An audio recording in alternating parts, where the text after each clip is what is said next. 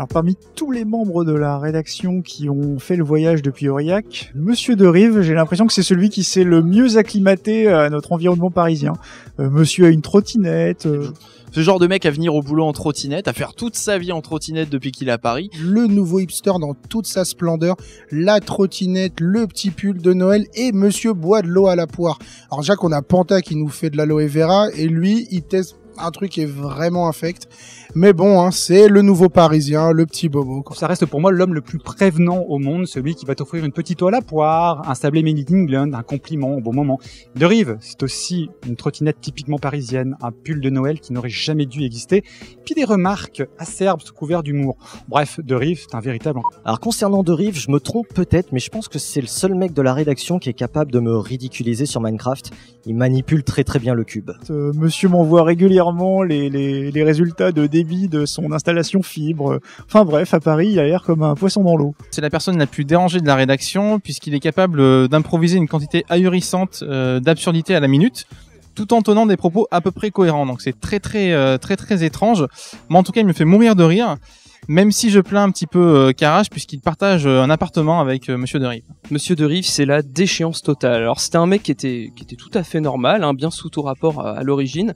Et puis ben un jour, je sais pas ce qui s'est passé, il a commencé à venir en trottinette, il a pris des, boissons uniquement avec des plantes euh, euh, uniquement connues des milieux bio. Euh, bon, bref, voilà. Il, a tellement en fait dérivé, c'est devenu un vrai Parisien, tu vois, dans l'esprit. Attention, euh, c'est un vrai hipster en fait de Rive maintenant.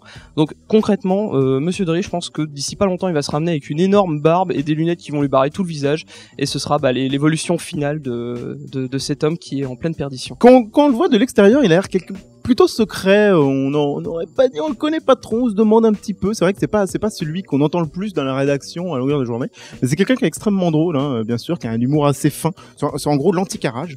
Il a un humour vraiment fin euh, à ce niveau-là, et c'est vraiment quelqu'un, ouais, qui, qui est fun, euh, justement à, sa manière, et qui aime bien les petits jeux mots, les petites tournures euh, plutôt sympas.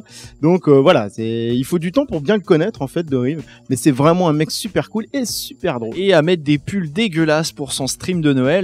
Euh, et puis il a vu Star Wars 7 aussi avant tout le monde, euh, parce que c'est aussi Monsieur Mon Plan. hein. Là-dessus, c'est un peu le fils spirituel de Krakou. Il a tous les bons plans, tous les trucs qui, tu- rêves d'avoir, il les a déjà, et puis il trouve ça très normal.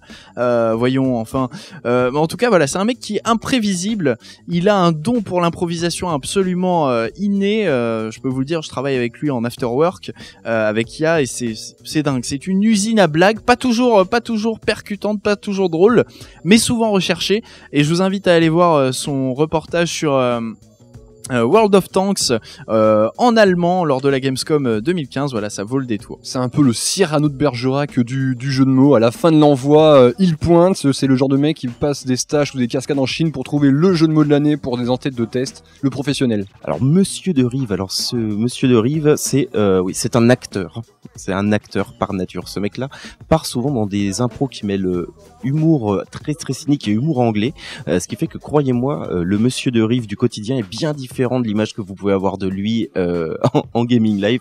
Et c'est quelqu'un d'hilarant, vraiment d'hilarant. On a l'impression que c'est un personnage euh, de euh, Conan Doyle mélangé à un personnage que Gottlieb aurait pu créer pour la rubrique braque. En gros, c'est un, un Rubik's Cube. Il est très sérieux, mais en fait, je pense que c'est la personne la plus drôle de la rédaction. Donc euh, voilà, c'est une énigme en plus. euh, ben, il est PCiste, un peu comme moi. Donc euh, bah, là-dessus, on s'entend plutôt bien. Et une fois qu'on comprend un petit peu ce qu'il veut dire, bah, ça se passe très très bien. Je résumerai de Rive qu'avec une seule blague. Comment on chope le papyrus? Avec une mamie moldave.